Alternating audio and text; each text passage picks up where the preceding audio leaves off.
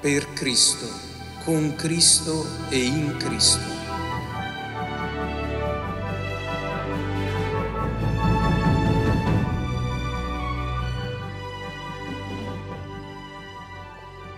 Carissimi amici, da oggi potrà finalmente riprendere la celebrazione delle Sante Messe con il popolo. Per questa ragione, almeno per il momento, si conclude il servizio della nostra liturgia quotidiana. Quando abbiamo iniziato ormai circa due mesi fa, le nostre chiese non potevano più essere raggiunte da nessuno e quei giorni si erano riempiti di silenzio, di paura e di distanze. Così, pur sapendo che una sola Eucaristia, ovunque celebrata, ha il potere di raggiungere gli estremi confini della terra e quindi il cuore di ogni uomo, proprio in quei giorni ci siamo interrogati su come metterci maggiormente a servizio della nostra comunione ecclesiale.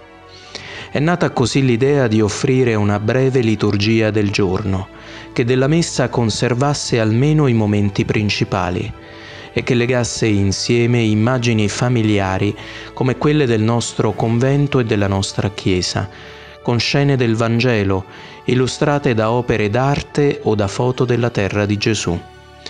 Perché fosse reso evidente quel legame che come cristiani ci chiede di essere qui ed ora, il prolungamento concreto di quella storia iniziata lì, in quel luogo preciso dove il Figlio di Dio è vissuto, è morto ed è risorto per noi.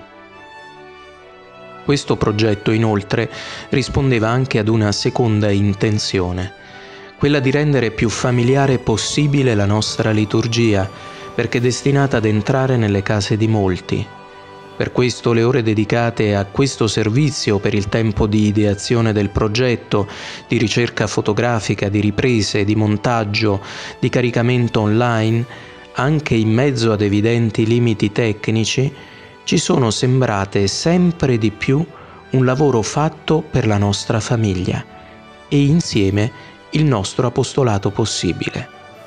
Un apostolato carmelitano perché proposto dando sempre la precedenza ad una resa grafica e di contenuti non casuale né forzata, ma attenta a quella bellezza diversa, elegante, generosa, che proviene solo da Cristo e che solo attraverso di Lui si riversa su tutto, mentre illumina ogni cosa nel suo vero destino. Un fiore come un tramonto, il suono di una campana come una candela accesa, un quadro come un volto. Il resto del lavoro lo abbiamo constatato, lo ha fatto lo Spirito Santo ed è andato ben al di là di tutte le nostre possibili previsioni per la diffusione davvero ampia della proposta e, cosa ancora più preziosa, per il suo frutto nel cuore di tanti.